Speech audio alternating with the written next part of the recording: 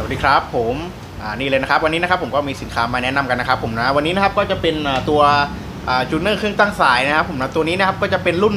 ที่มี metronome ด้วยนะครับผมนะนี่เลยนะครับ ก็ตัวนี้เป็นยังไงเดี๋ยวผมมาสาธิตให้ดูนะครับว่าตัวนี้มันอ่าทำอะไรได้บ้างนะครับ ผมมาครับอันนี้เลยนะครับตัวเครื่องก็ลักษณะประมาณนี้เลยนะครับ ผมนะก็จะมีปุ่ม การใช้งานตามนี้นะครับผมตัวนี้นะครับมีตั้งสายได้แล้วก็เป็น metronome ได้นะครับ ผมก็วิธีใช้งานนะครับ เรากดเปิดนะครับนี่เลยนะครับ ผมแล้วเราก็สามารถเลือกโหมดได้นะครับ ผมอันนี้ก็จะเป็นโหมดเอาไว้แบบว่าเราตั้งสายนะครับ ผมเป็นแบบ chromatic นะครับเวลาเราตั้งสายเราเสียบตัวอุปกรณ์นี้นะครับ เสียบตรงหัวกีตาร์เหมือน tuner ทั่วไปแล้วก็สามารถตั้งสายได้นะครับ ผมประมาณนี้นะครับ ผม ตรงนี้ก็จะเป็น pitch เราสามารถเลือกความถี่ได้นะครับผมอ่าต่อไปก็เป็นโหมดอ่า metronome นะครับผม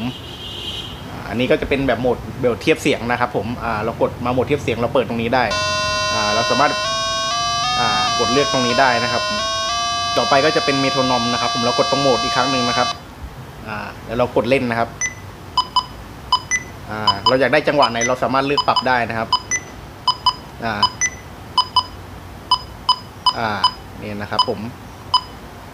จะประมาณนี้เลยนะครับผมถ้าเราไม่ใช้งานเราก็ปิดได้เลยนะครับผมนะก็ตัวนี้ครับจะใช้ใช้เป็นถ่าน 3A 2 ก้อนนะครับผม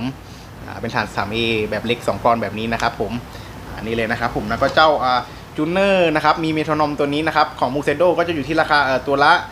450 บาทเท่านั้นนะครับผมนี่เลยนะครับก็ท่านไหนสนใจนะครับผมนะ tuner มี metronome นะครับผมนะก็สามารถติดต่อบล็อกมาได้นะครับ